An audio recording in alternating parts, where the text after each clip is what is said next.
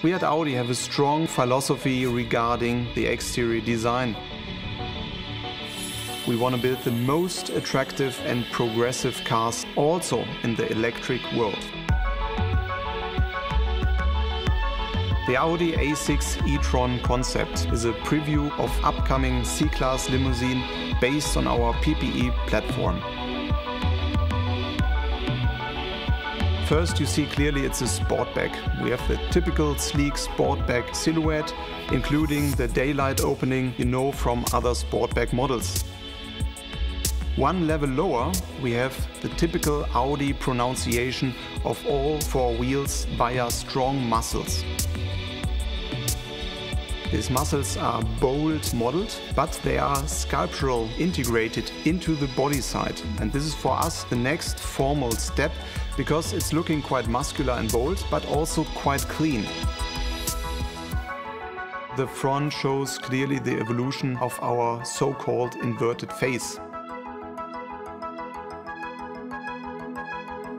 This is now an evolution because we hide some light functions in the black mask and that's why the top part, the main light what you read, is very, very slim. It's the slimmest headlight you find on an Audi model.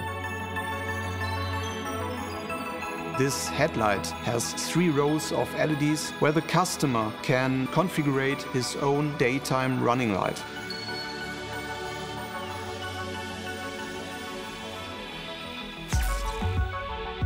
Via several DML modules in the front and the side, we project our turn indicators onto the floor.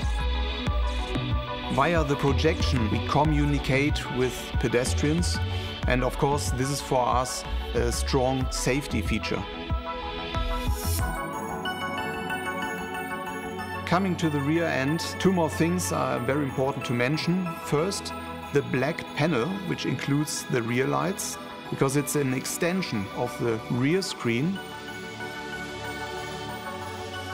Under the black panel you see a light bar which is made via OLEDs. And via these OLEDs you have very three-dimensional light animations.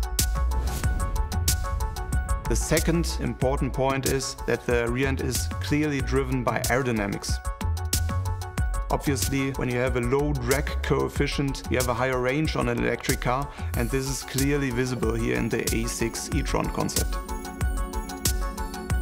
So, to sum it up, the A6 e-tron concept is a perfect extension of our future e-tron lineup, and I'm really looking forward to see this beauty on the road.